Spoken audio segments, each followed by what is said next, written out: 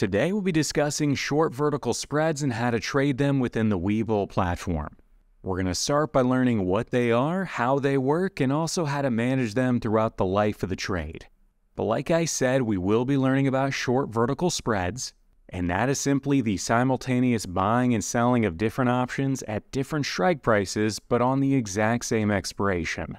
Rather than trying to use these options to bet on direction, the short vertical is going to be used to profit from things like time decay or from volatility decreasing. And I promise you, after a few minutes, this is going to make a lot more sense, but for right now, we are going to need to pull up an option chain. Now, within Webull, that can pretty much be added to any single screen within here by simply coming up here to the widgets menu in the upper right hand corner and then within the drop-down menu, and specifically within the quote section, we are going to find and click on the tab marked Options. You can then see that clicking that will actually open up an option chain window directly within our platform, which we could then drag and actually drop wherever we wanted it.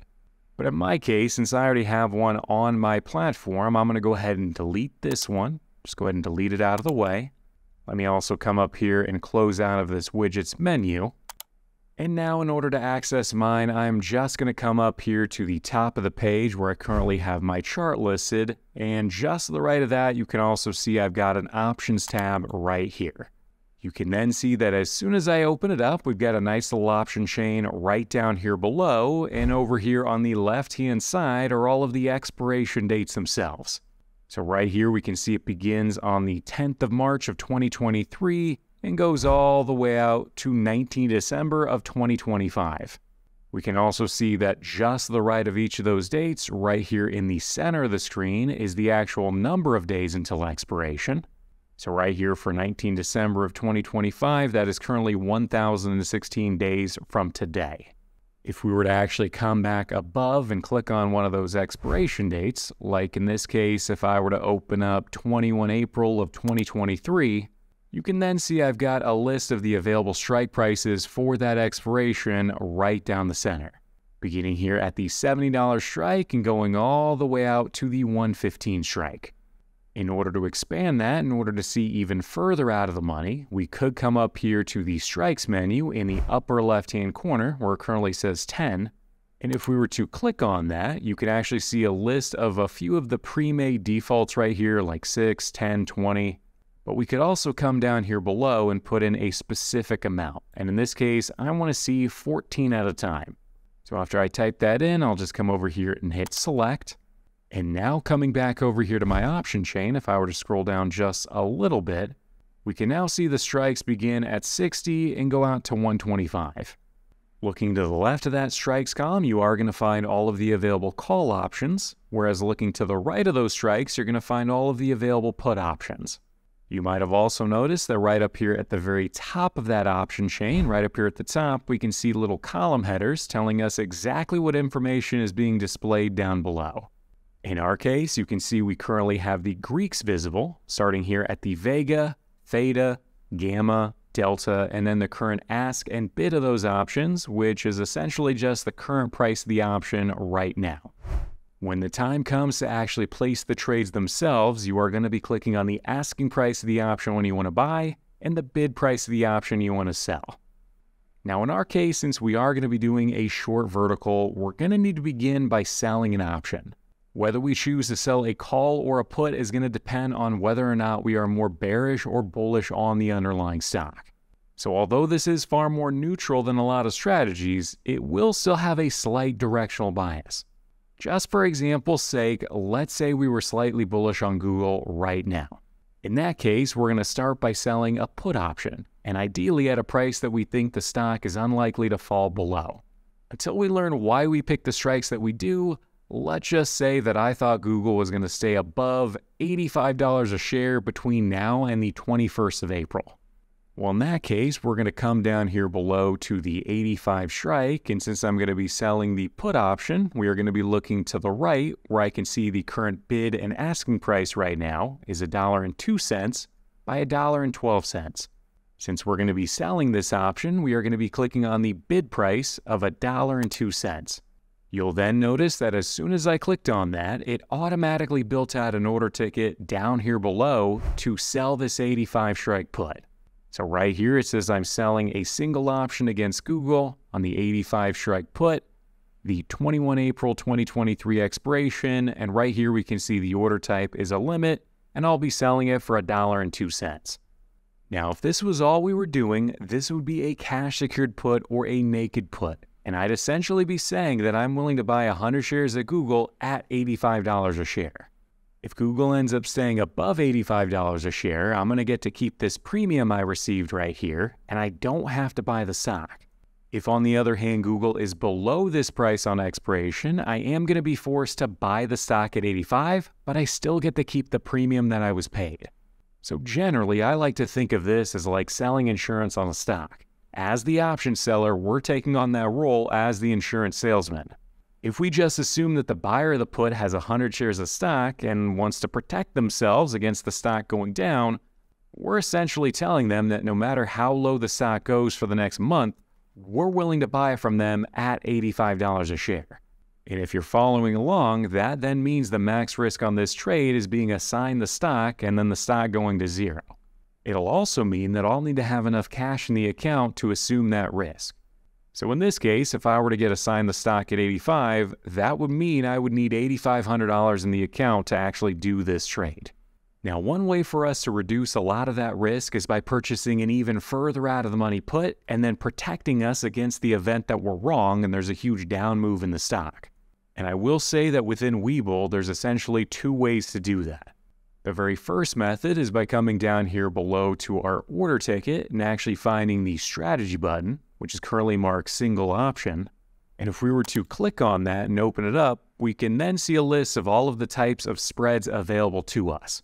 If we were to then look up above in that list up here, if I were to come up and actually click on vertical, let's say, that will then build out a vertical spread right down here below. And if we look at the top line, it's actually telling us what it is we're about to do, what this trade is. So in this case, this trade is the 80 by 85 vertical put spread, and we are selling it for a total credit of 56 cents. Looking right below that, we can also see the individual strike prices themselves. So we can see right here, leg one is buying the $80 put, which is our hedge, and we're also selling the $85 put. Now, within this order ticket, I could come up here and adjust the quantity. I could adjust it whatever quantity I wanted to, whatever amount I wanted to sell. I could also come over here to the price at which I wanted to sell it for, so adjust the credit. Maybe I only wanted to sell this if I could get 60 cents for it, and I could go ahead and type that in and then lock it in. And I could also come over here to the strike prices if I wanted to adjust that. So if maybe I wanted to move that out a little bit, I could adjust it from 80 by 85 and maybe instead move it to, let's say 75 by 80, moving it out an additional $5.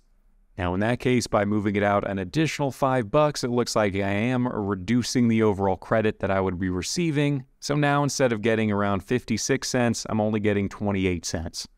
So again, by doing this, I am giving up a little bit of that credit. I'm giving up a little bit of the potential profit, but I'm also reducing the risk considerably.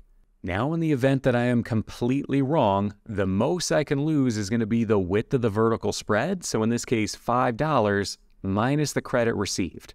So in this specific example, with my spread being $5 wide, because remember, I'm selling the 80, buying the 75, and I'm also receiving 28 cents in credit for doing the trade. If we were to do the math for a second, that means the most I could lose on this vertical spread is going to be $4.72. But just remember, this does represent 100 shares, so really that's going to be $472, which is far different than the $8,500 I was risking just a second ago. But this right here would be a short vertical spread, and in this case, all we would need to happen to make money on this trade is for Google to stay above $80 a share. As long as Google remains above 80, we could make $28 per vertical that we sell. That's the absolute most amount of money we could make. If we actually wanted to place this thing, we would of course just come down here below and hit place order and then send it, and that's all it takes. But that's going to be the first method on how to create a vertical spread within here. If we were to come up here and delete this out of here, let's go ahead and go over the second method. And that's going to be by coming up here to the upper left-hand corner of the option chain and flipping this over from a single option, and instead within this list, finding the spread that we wanted to trade, which in this case is going to be the vertical. Go ahead and click on that. You can then see that by default, it actually clusters those strike prices together just one strike further out. So in this case, you can see it's clustering the 70 by 75, the 75 by 80, the 80 by 85, but let's say you wanted to go out even further. Let's say you wanted to sell 10 point wide verticals or 20 points wide. If you wanted to adjust the width of the vertical spread, you're going to have to come back up here to the upper left hand corner where the width is currently set to auto. And if we were to instead click on that, I could actually flip it on over to 10 points wide. And now looking down below, we can see that we've got 10 point wide available spreads right here. We've got the 90 by 100, we've got the 80 by 90, we've got the 70 by 80. And then looking to the right or left, we can see the overall credit or debit that we would have to pay to do this specific vertical. So if I wanted to do a similar trade as before, I wanted to sell the 75 by 85 vertical put spread, I would just come over here to the right and click on the bid price of 78 cents. You can then see that just like before, it actually builds out the spread right down here. So right here it says we're about to sell the 75 by 85 vertical put spread, and it looks like we'd be collecting 84 cents on this thing. Now again, in order to calculate the risk, we're going to take the width of the spread, which in this case is 10 points wide, and we're just going to deduct the credit that we received. So the credit of 84 cents, which means the most I could ever lose on this trade is going to be 916 bucks. The absolute most I could ever make is going to be the credit of 84 cents. So obviously the risk to reward is pretty skewed. There's obviously a lot more risk on this trade than there is potential profit, and that's because the probabilities are really in my favor. For me to make money on this vertical credit spread, all I need to happen is for Google to stay above 85. So in this example, Google could stay the same, it could go up, it could even go down $10 a share, and I would still make max profit on this trade. But again, that's how you're going to create a vertical credit spread within Webull. Hopefully you now feel at least a little bit more comfortable with the process and how to do it within here. There's a lot I covered only briefly, so if you are looking to learn more, consider checking out this video next. You might find it helpful as well. Otherwise, have a great rest of your week, and I'll see you on the next one.